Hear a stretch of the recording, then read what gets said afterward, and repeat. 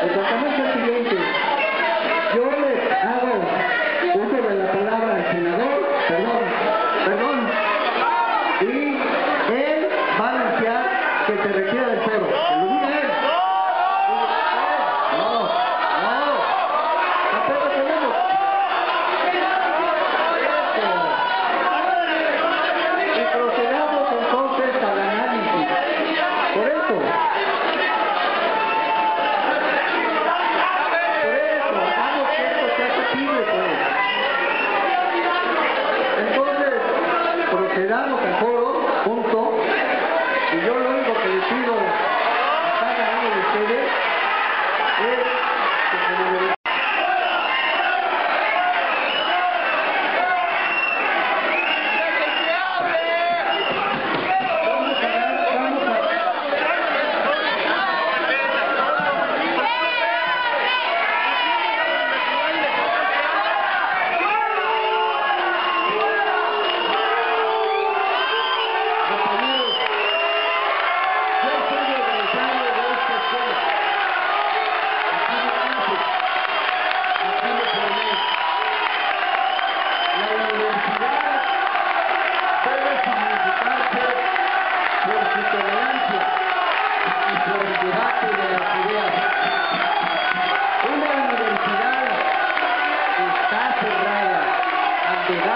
las ideas y de las propuestas no tiene futuro. Lo que caracteriza a la es la pluralidad. Lo que caracteriza a la o lo que debe caracterizar a la es la tolerancia. Eso debe existir para que las ideas se integren. Las universidades son sinónimos de estudio